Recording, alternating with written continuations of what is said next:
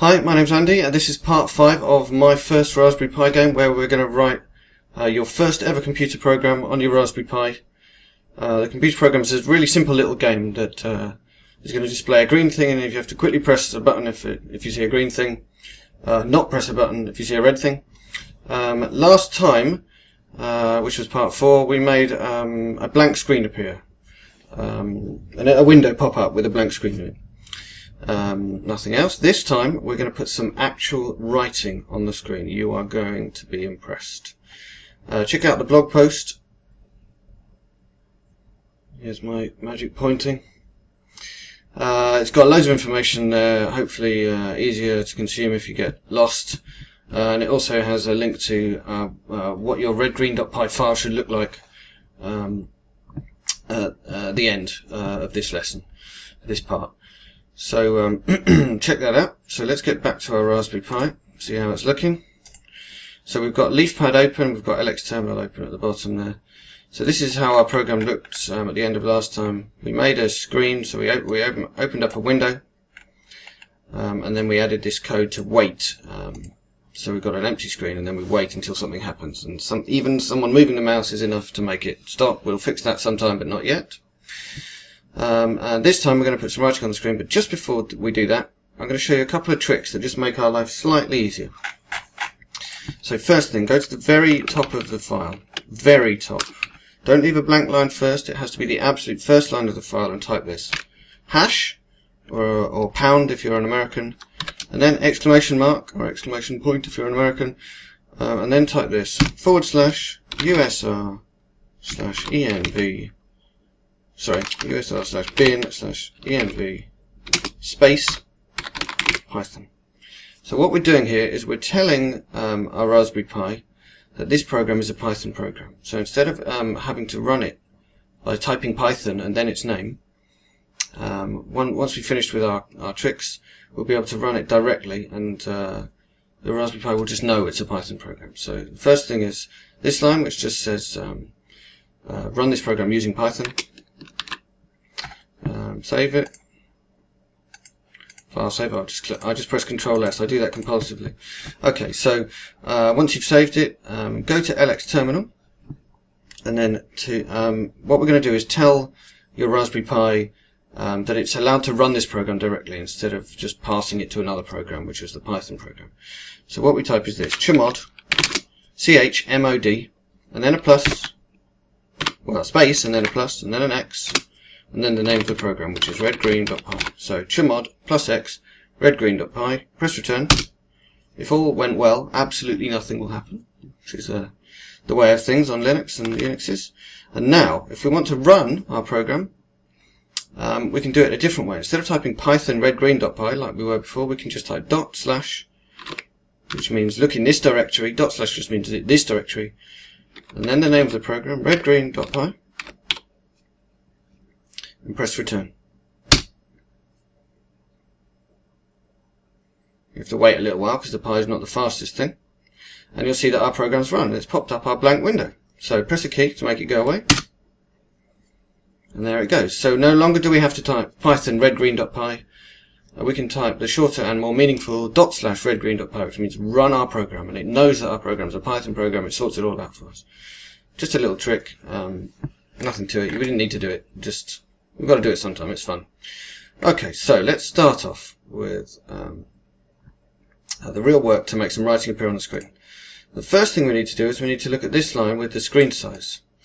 Um, before we were happy with just the screen size just being a list of two numbers and we didn't need the numbers individually. Now I want the numbers individually. I'm going to split this up a little bit. So I'm going to type this screen width, screen underscore width equals 640, screen underscore height equals 480, and then instead of repeating this information again, uh, which would be a waste and might cause mistakes, um, I'm going to make the screen size by building it up out of screen width and screen height. So screen size is a list of the width and the height, um, but now we've made new variables called screen width and screen height, which hold on to the, um, the width and the height separately, because we're going to need them later. Um, and I've made screen size out of those variables. Just as a reminder, a variable uh, sounds clever, but actually it's just a thing with a name that holds on to something. Okay, so we've made screen size out of those two other variables now. Uh, the next thing we need to do, um, because we're going to use them later, is make two more variables but put absolutely nothing in them. So this is how that's going to work. Screen equals none. None is a special word in Python which means uh, there's nothing at all there. But there will be at some point, presumably. I'm going to make another one called ready text. So this is the writing. You getting the idea? And again, ready text is going to be equal to none, which means make this variable but don't put anything in it, or put put none in it, put nothing in it. Um, so we've made those variables. Now let's go and look at our start function. We're going to add a bit of stuff to it.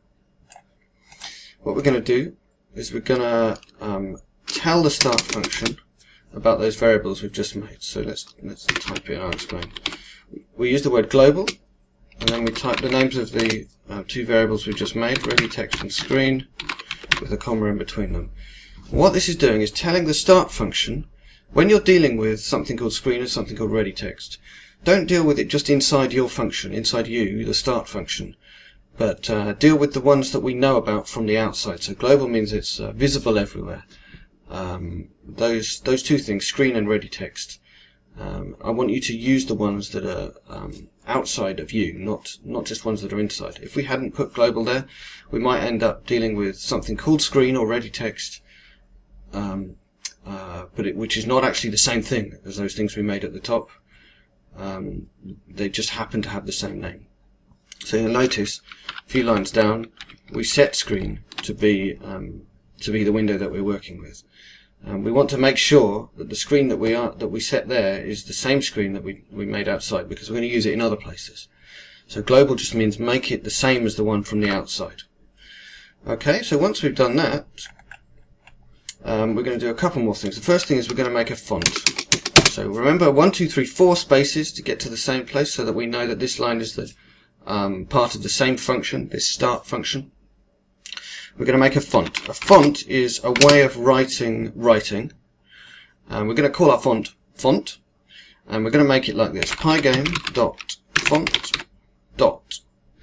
capital F font means make a new object, uh, uh, uh, which is a, a, type of, which is a font. And then we're going to type none, and then screen height, which is the variable we defined up above, divided by 5. So let me explain this a little bit. So this stuff means look inside pi, whoops, look inside, look inside Pygame. Dot means look inside, find something called font, look inside that and find something called capital F font, um, which um, we call. And uh, uh, you can think of this thing as a function. Actually, it's a, a thing that makes an object called a font. So we're going to make a font, and the way we're going to make it um, is we're going to pass in none, which means we don't care what font it is. It could be Arial, it could be Verdana, it could be Times New Roman. Uh, for the moment, we don't care. So we just say none for I don't care. Just pass in nothing there. Uh, and then the next argument, so um, here there are two arguments to this function, two pieces of information being passed into this uh, this thing, this font. Not really a function, but let's call it a function for now. Um, uh, and the second argument is the screen height variable that we, we created up higher up. Um, but we're doing a sum on that screen height. Instead of just um, passing in the screen height as it is, we're doing a divided by. So this is a forward slash and then a 5. And that means divided by 5. We don't use the divide sign or anything like that. Um, this is supposed to look a bit like a fraction. You've got screen height on top and 5 underneath, so screen height divided by 5. Lots of programming languages have a slash like that to mean divide. It's a bit weird if you're used to writing a division sign, but um, I haven't got a division sign on my keyboard. It's a lot easier to use a slash. Uh, uh, in fact, division sign won't work, so don't try. Okay, so um, type 4 spaces for our next line. So we've made a font, uh, which we're going to use to make some writing. So here's where we make some writing. This variable, ready text, which we've created higher up and we've said is global, so that we're, what we're doing here is modifying something that um, is going to leak out of this function into the rest of the program. So ready text equals, so we're changing what this variable is pointing at. Um, font, which is the object we've just made, this font object, and we're calling a function on font called render. And what we're asking it to render is the word ready passing in a 1, which you can ignore. And then we're going to give it a colour. Let's make our font smaller yet again, so that we can see what we're doing here. Is that going to do it? Let's see whether that does it. So the colour we want is white. Let's get rid of some spaces, right? You should always have loads of spaces in your code, but let's get rid of a couple just so we can fit it on. So, we're making, we're modifying the variable ready text by saying ready text equals something, and the thing that we're saying it should be equal to um, is the answer that comes back when we call this function render on the font object. So render means draw, uh, draw into a picture. So we're saying take this writing, the writing that we're passing in is this thing between quotes, just like in the Hello World program we wrote, where we put a string of characters in quotes to say hello world. Here we put a string of characters in quotes saying ready, um, and then something else which you don't have to care about, and then um, the color that we want you to draw it. So the color we want is white, please. So make an image, put it inside ready text, and that image should be the word ready written in white. Easy, right? Okay, so what do we do next? Well, now that we've got this image, this picture, which is um, the word ready written in white, we can draw it on the screen. And the way we do that is we modify the ready screen function, which is where all the magic's going to happen. So we're going to do it like this. We're going to make another variable inside ready screen. Remember this function gets called further down. Let me scroll down and just show you. Remember, all these functions don't actually run until we get to here. So we say start, which is the bit we've just been doing, and then we say ready screen. So that's where we get to. That's how we get to here. So we're going to run this ready screen function. We're going to make a variable with text pos, and we're going to set it to be ready text dot get and then an open bracket. So we're making a variable called text pos. The way we make it is we look inside the thing ready text that we made up above for a function called get rect um, and this text pos is going to store where on the screen we want to draw our piece of writing. So get rect, um, it, that's not the end. Um, we've got a lot more to write, but we can't fit it all onto this line. There's too much. So what I've done is I've put a bracket and I haven't closed it yet. And Python knows if you've put a bracket and you haven't closed it yet, you haven't finished with this line. You might be starting onto another line physically in the text editor, like I am here, 1, 2, 3, 4, 1, 2, 3, 4. We might be moving on to another line in the text editor, but in, as far as Python's concerned, this is all one thing. It's like one sentence um, in a piece of English. So uh, all of this line is just about making this text pos thing, which is going to be where the text appears on the screen. But it's a complicated line, so I've broken it into separate lines. The reason Python is okay with that is because we've got this um, bracket which hasn't closed yet, so Python knows you haven't finished yet. So we're going to type this. Center x equals screen dot get width divided by 2, and then a comma. Another line just the same level of indentation. Center y equals screen dot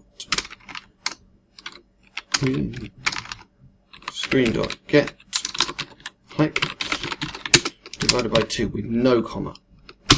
Finally, 1, 2, 3, 4, we're going to finish off the line by closing the bracket. So we're calling the getRect function, and the, the end of the getRect function call is on this line, fourth down. In between, we've got two arguments being passed, two pieces of information being passed to the getRect function. One is this lot, and one is this lot, and there's a comma in between them. It's all on separate lines, but you can think of it as all one thing. So the other thing to notice about this um, this code we've written is instead of just passing in this sum, which incidentally is halfway across the screen, it's the width of the screen divided by 2 and the height of the screen divided by 2. So these two numbers are going to be um, uh, the amount of pixels it takes it, it costs you to get halfway across the screen, the amount of pixels it takes you to get halfway down the screen.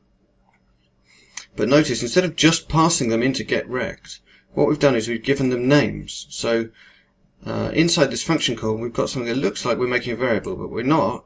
What we're doing is saying the the argument that we're passing, the piece of information we're passing, is center x, and the next piece of information we're passing is center y. So we're telling the getRect function uh, which arguments we're passing. The reason we're doing this is getRect can take all kinds of different arguments. Um, and we're, we're passing these two, but we could have passed all kinds of other things. So it needs to be told which arguments we're passing, whereas with the functions we've seen before, like set mode, um, it was it's clear to set mode that this argument is the screen size. There's not loads and loads of other arguments it could be. In, uh, in the case of getRect, getRect could, can take all kinds of different arguments. So we're telling it um, we want the center of our of our text to be halfway across the screen in the x direction and the center of our text in the y direction we want to be halfway down the screen. So now inside text pos we've actually got a rectangle uh, or the locations of the corners of a rectangle uh, which tells Pygame where to draw something. We haven't actually drawn it, we're going to do that now. Here's how we draw it. One, two, three, four. So notice, by the way, we can have a blank line we, that doesn't mean we leave the function. So we're still inside this function called ready screen um, because the line here still has four spaces in it and, there, and the only lines in between were empty. If we'd made a line in between here, if we'd made a line here saying print hello, let's just do it. That would mean we'd got to the end of ready screen, and then this line wouldn't, wouldn't make any sense. How can you carry on with ready screen when you've already finished it? So, we're not doing that um, we're carrying on with ready screen. So uh, just to make the point again, the way Python knows you're, whether you're inside a function or you've finished it is the number of spaces at the beginning or the number of tabs at the beginning. So you have to be really, really careful that all the lines that are in this function start with these four spaces like this. Text pos, and here four spaces at the beginning. So here's how we write something onto the screen. We say screen.blit. Then we say um, what image you want to draw on the screen. So in this case, the image you want to draw is this thing called ready text. And then where do you want to draw it? Which is this variable we've just made called textpos. So the name blit uh, comes from the, the dawn of computing history. Uh, it means write. It means draw draw an image. Um, why it's called blit is um, uh, lost in the mists of time. There's a, there's a link in the blog if you're interested in finding out about it. So now we've done it. We've drawn our writing on the screen. Um, but the last thing we need to do is tell Pygame um, I've finished with all my drawing. Um, now show the drawing that I've been doing. So what, how we do that is this pygame.display.flip. Um, so flip um, is a reference to the fact that actually there are two screens uh, underneath, behind the scenes.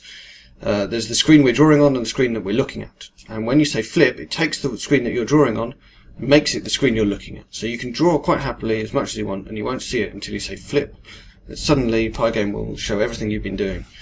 Um, it's quite useful for if you've got lots of complicated drawing to do. We've done a very simple bit of drawing, which is just writing a bit of text. Okay, uh, all kinds of waffling, but I believe we have finished. So, save it, file, save. Go to LX terminal and type dot slash red green dot py. Are you ready? Is this going to work? Look at that. We've got a black screen with white writing on it saying ready. And we can make that go away by moving the mouse, clicking the mouse, or pressing a key. Let's do it. So if you got that far, well done. You've done um, your first bit of graphics programming.